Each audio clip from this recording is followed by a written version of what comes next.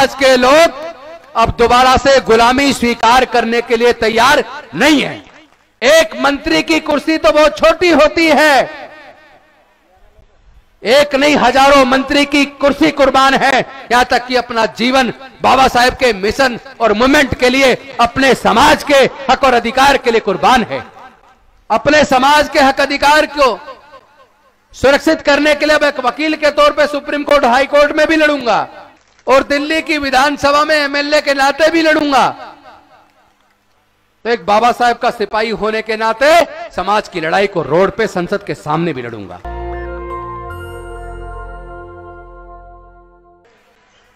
इसकी सरकार ने और राज्य सरकारों ने मिलकर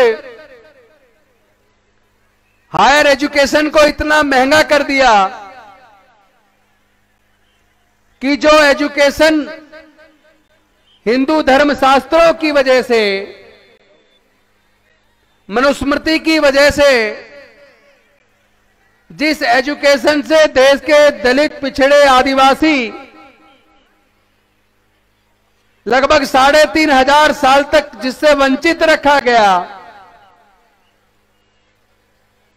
व्यापार से वंचित रखा गया, संपत्ति से वंचित रखा गया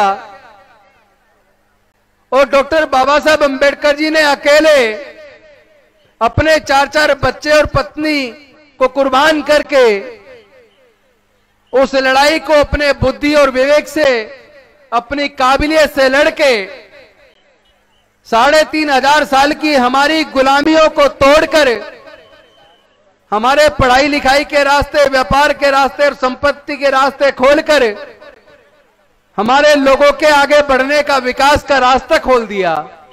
अगर हम इसी तरह जातियों में बटे रहे तो ये 30 परसेंट भी आने वाले 10 से 15 सालों में छिन जाएगा। आप लोग वक्त की नजाकत को नहीं समझ रहे। आप लोग सरकारों की साजिश को नहीं समझ रहे। और जो व्यक्ति बीमारी का कारण समझे, बिना इलाज करता है, वो व्यक्ति कभी ठीक नहीं हो सकता। ये बिल्कुल उसी तरीके से है कि जिस कारण से बीमारी पैदा हुई है, हम लोग उसी कारण को ज़िंदा रखे हुए हैं। मैं पूछता हूँ, क्या तुम लोगों ने जातियाँ छोड़ दी? या अभी भी जाति में बने हुए हो तो वो कहते हमने जाति नहीं छोड़ी, हम जाति में बने हुए हैं। आप जातियों को ज़िंदा रखे हो, अपने बच्चों की शादी करने के लिए, जब लड़का या लड़की ढूंढते हो तो अपनी जाति ढूंढते हो तो भाई फिर बीमारी से छुटकारा कब मिलेगा?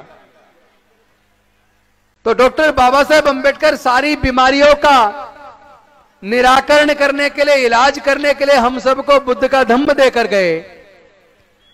लेकिन हम सबने डॉक्टर बाबा साहेब अंबेडकर की बात को नहीं माना।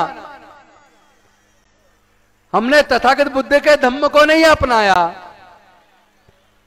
और अगर अप, अपनाने का नाटक भी किया तो अपने आचरण में नहीं उतारा।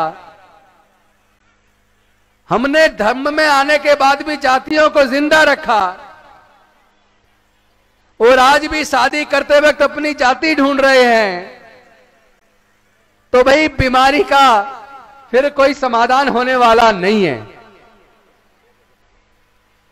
और ये जो दीक्षा का प्रोग्राम होता है, जिसमें ये 22 प्रतिज्ञाएँ दोहराई जाती हैं। 22 प्रतिज्ञा तो व्यक्ति जब बौद्ध धम्म की दीक्षा की विरासत में, बुद्ध के धम्म में आकर मैंने दीक्षा ली और बाबा साहेब की दी हुई 22 प्रतिज्ञाएँ ग्रहण की। लेकिन यह रोज ग्रहण करने की चीज़ नहीं है। जब कोई व्यक्ति बौद्ध बनता है, तब वो 22 प्रतिज्ञाएँ ग्रहण करता है। जब आप उसे रोज रोज दोहराओगे तो उसकी वैल्यू कम हो जाएगी। हमें आज इस बात को समझना पड़ेगा कि ये 22 प्रतिज्ञाएँ सारी बीमारियों का इलाज करने वाली हैं। अगर पूरे भारत के मूल निवासी वंचित, दलित, आदिवासी, पिछड़े वर्ग के लोग जिनका हज़ारों साल से शोषण हुआ है, जिन्होंने अब पढ़ाई नहीं, अब परिसले तैयार नहीं हो, चूँकि हमारे पूर्वज बौद्ध थे। सम्राट अशोक के टाइम पर, म्यांमार से लेके काबुल कंदार तक, ईरान तक, पूरा भारत बौद्ध में कल को अगर उसकी याददाश्त वापस आ जाए, उसे अपने घर का रास्ता याद आ जाए तो वो व्यक्ति अपने घर वापस जाएगा या नहीं जाएगा?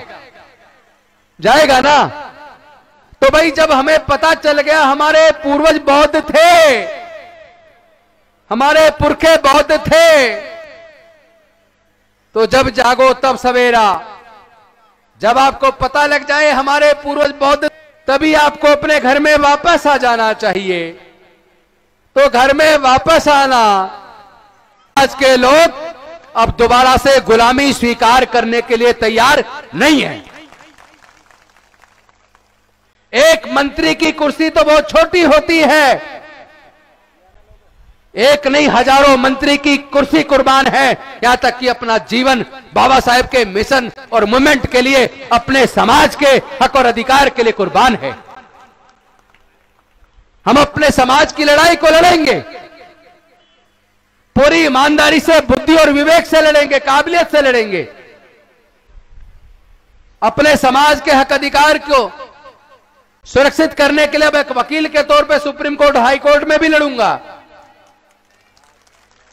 और दिल्ली की विधानसभा में एमएलए के नाते भी लड़ूँगा। तो एक बाबा साहेब का सिपाही होने के नाते समाज की लड़ाई को रोड पे संसद के सामने भी लड़ूँगा।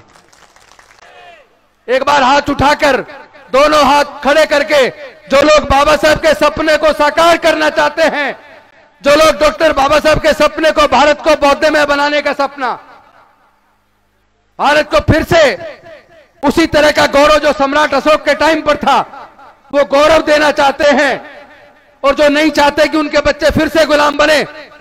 एक बार दोनों हाथ उठा के नारा लगाएँगे। जय भीम। जय भीम।